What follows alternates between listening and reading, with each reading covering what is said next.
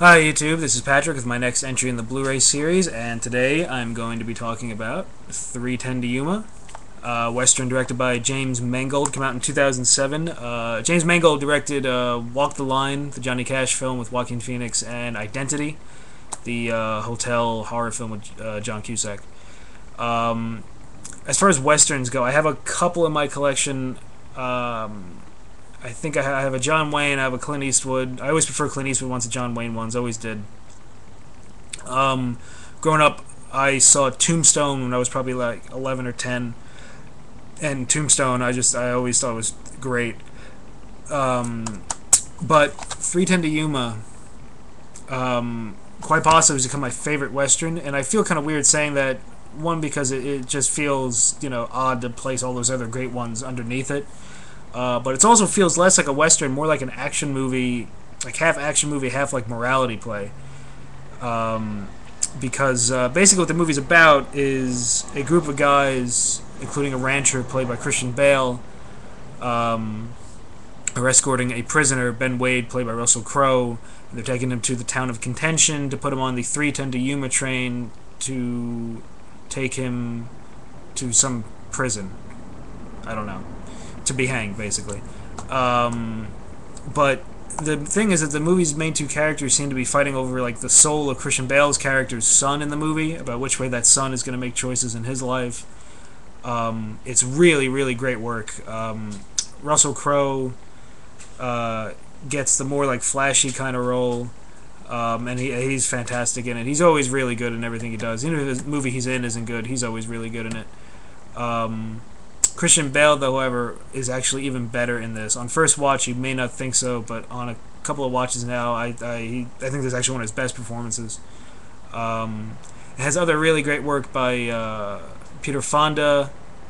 Uh, I forget the actor's name, but Keamy from Lost, the great little side turn.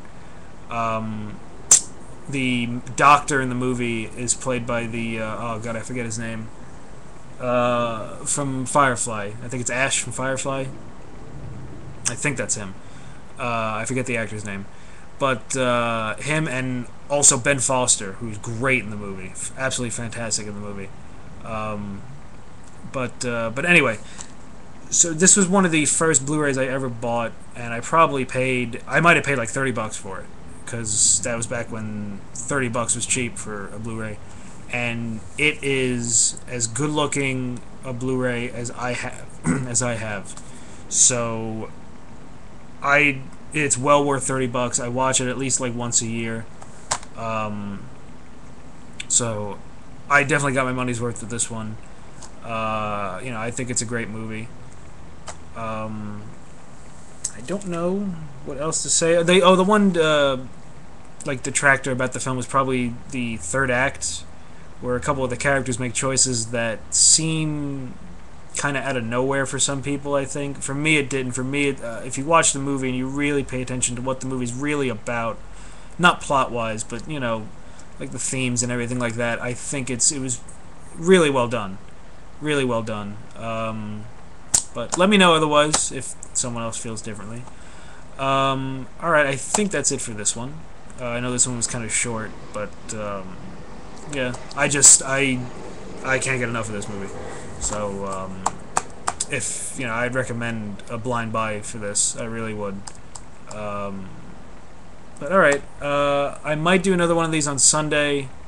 Uh, no, excuse me, before Sunday, because Sunday I'm gonna do the Walking Dead Blu-ray.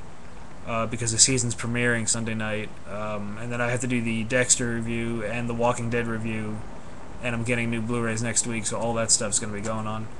Uh, so I'll try to do one more of these, but if I don't, until then, I'll see you guys on Sunday. All right? Adios.